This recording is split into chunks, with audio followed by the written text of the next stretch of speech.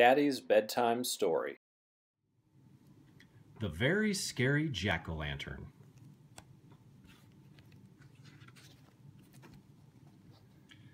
How do you carve a scary jack o' lantern? Elliot asked Grandpa Bud. You must get a pumpkin from the yellow eyed snaggletooth witch, Grandpa Bud answered. From the yellow eyed snaggletooth witch? Elliot gasped. How do you do that?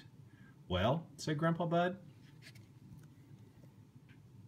on a moonlit night, when the air is crisp, a black cat will stroll out of town. Follow it. The cat steps into a cornfield and disappears. Dry leaves rustle and softly in the wind. And then, clat-tat-tat, a skeleton dances by. Follow it.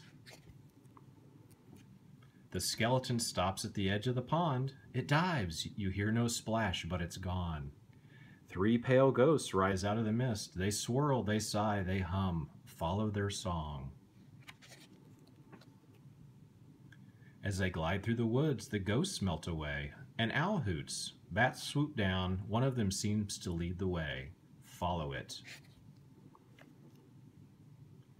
In the clearing in the woods stands a tiny hut. Walk right in, no need to knock. Inside the hut, you're not alone. A long legged spider spins down from the ceiling. A huge steaming cauldron stands on the hearth. And then she appears. From where? Who knows?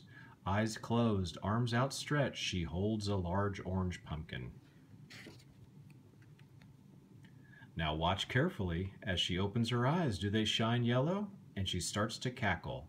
Does a snaggletooth show? If so, take the pumpkin and run. Outside the hut, the black cat returns to show you the way. Follow it. Run through the woods, past the pond, and across the cornfield. Run until you and the pumpkin are safely at home.